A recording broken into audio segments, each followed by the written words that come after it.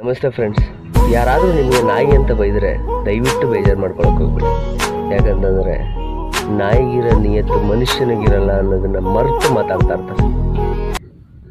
ಈ ಥರ ಬುದ್ಧಿ ಮಾತು ಕೇಳ್ಕೊಂಡಿದ್ರೆ ಇವತ್ತು ನಾಯಿ ಅಂದವನು ನಾಳೆ ಕೋತಿ ಅಂತಾನೆ, ಕತ್ತೆ ಅಂತಾನೆ, ಹಂದಿ ಅಂತಾನೆ. ಅನ್ನಿಸ್ಕೊಂತೀರ?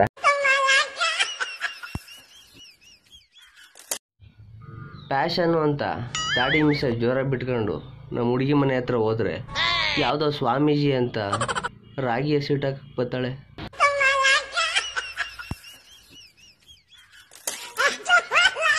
ನಮಸ್ತೆ ಫ್ರೆಂಡ್ಸ್. ನಿಮ್ಮ ತಾಯಿನ ಏನು ಬೇಕಾದರೂ ಕೇಳಿ, ಕೊಡಿಸ್ತಾರೆ. ಆದರೆ ಅವ್ರ ಸೀರಿಯಲ್ ನೋಡುವಾಗ ರಿಮೋಟ್ ಮಾತ್ರ ಕೇಳಬೇಡಿ. ಕೊಡಲ್ಲ. ಪ್ಯಾಟೆ ಹುಡುಗಿರದು ಸಿಂಗಾರ, ಹಳ್ಳಿ ಹುಡುಗಿಯರು ಬಂಗಾರ. ಸುಮ್ಮನೆ ಅಂದೆ. ಎಲ್ಲ ಹುಡುಗಿರು ಒಂದೇ.